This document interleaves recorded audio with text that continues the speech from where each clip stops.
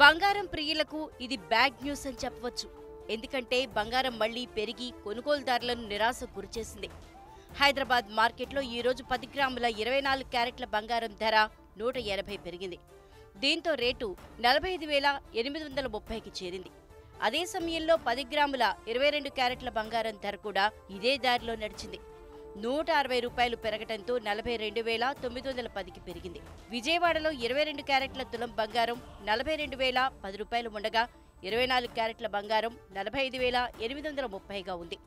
విశాఖపట్నంలోనూ ఇదే ధరలు కొనసాగుతున్నాయి. ఇక దక్షిణ భారతదేశంలో మరో ముఖ్యమైన నగరమైన చెన్నైలో ఇరవై రెండు క్యారెట్ల బంగారం ధర నలభై రెండు వేల మూడు వందల పది ఉండగా ఇరవై నాలుగు క్యారెట్ల గోల్డ్ నలభై ఆరు వేల నూట అరవై వద్ద కొనసాగుతోంది. అటు అంతర్జాతీయ మార్కెట్లో కూడా బంగారం వెండి ధరలు పెరిగాయి. బంగార ధర ఔన్స్కు సున్నా పాయింట్ ఐదు తొమ్మిది శాతం పెరగడంతో పదిహేడు వందల ముప్పై డాలర్లకు చేరింది. వెండి ధర ఔన్స్కు ఒకటి పాయింట్ సున్నా నాలుగు శాతం పెరుగుదలతో ఇరవై ఆరు పాయింట్ ఒకటి ఏడు డాలర్లకు చేరింది. ఇక దేశీయంగా సోమవారం వెండి ధరలు నిలకడగా ఉన్నాయి. హైదరాబాద్లో కిలో వెండి ధర డెబ్బై ఒక వేల నాలుగు వందలు ఉండగా విజయవాడలో డెబ్బై ఒక వేల నాలుగు వందలుంది. ఇక విశాఖపట్నంలో కిలో వెండి ధర డెబ్బై ఒక వేల నాలుగు వందలుంది.